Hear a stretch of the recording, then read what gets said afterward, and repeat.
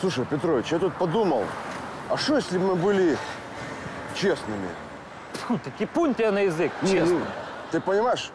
Ну вот, а что, ну вот честные гаишники, их что, тоже будут расформировать? Ну ти сказав, чесні гаїшники.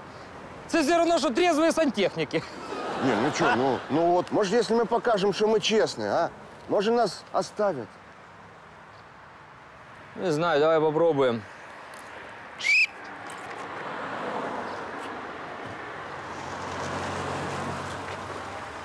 Доброго дня.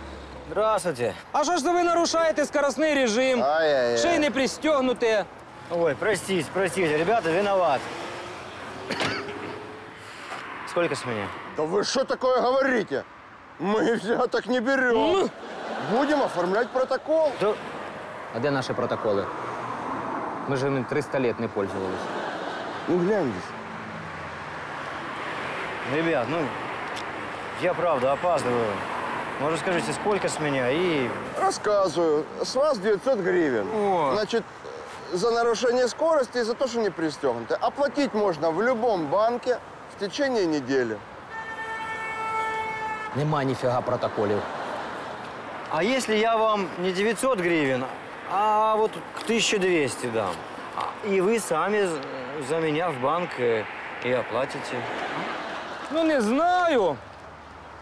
Хотя, с другой стороны, наша задача помогать водителям. О, это правильно, это правильно. Щасливої дороги! Всего доброго. И не нарушайте. Не-не, никогда. Проїжджайте. Всего доброго. Слушай, Петрович, а ведь мы когда честные, мы в два раза больше зарабатывать стали. Денег, да. А от удовольствия якось менше стало. Ну Да.